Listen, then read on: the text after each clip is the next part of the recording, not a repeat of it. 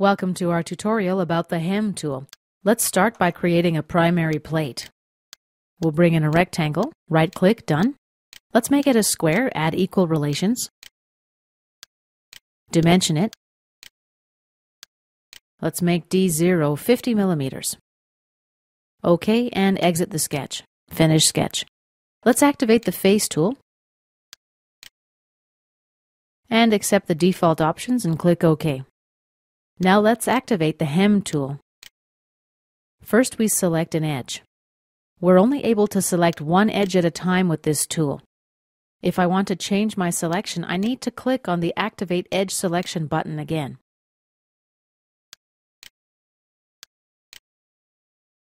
Here we can flip the direction of the hem. From the Type drop-down menu, we can select from four different types of hems. Let's expand this dialog window by clicking the double arrows. Width extents. These specify the extent of the hem. I'm going to select width. Let's accept the default value of 10 millimeters and click OK. Let's zoom in close. Here you see a bend relief was added. We're going to talk about this in subsequent tutorials. For now, let's talk about how we can remove the rest of this rim. Let's double click on the hem and go to the Bend tab. Under Minimum Remnant, I'll enter D0. Let's enter D0 for the value of minimum remnant. Let's click OK, and the rim is gone. Okay, let's double click on our hem and edit it again. Under Extents, let's select Edge. Let's take a normal view.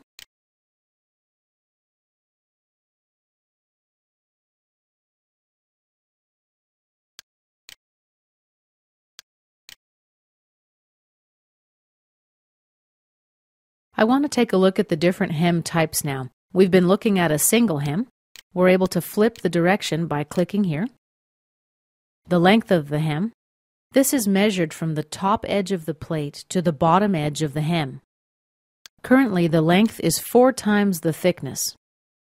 Let's make it 4.5. As you see, the gap between the hem and the plate is equal to half of the thickness. The top edge of the hem is tangent to this edge of the plate. To make it more obvious, let's increase the gap to 1.5, for example. And let's take a look at the next type of hem, teardrop. With this type, we're able to control the hem radius and angle. Let's make it two times the bend radius. And let's make the angle 250 degrees. The gap between the hem and the plate is a quarter of the thickness. The angle can't be less than 180 degrees, keep that in mind.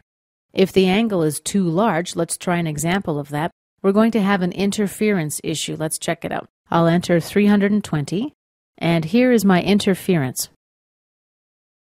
Let's return the angle to 270 degrees. The gap, as you see, stays constant at a quarter of the thickness of the material. And let's review the next type of hem, a rolled hem. Once again, we're able to modify the hem radius as well as the hem angle. Let's change the hem radius to the bend radius value and click OK. Alright, let's double click on hem 1 to make a few more adjustments. The last type of hem is a doubled hem.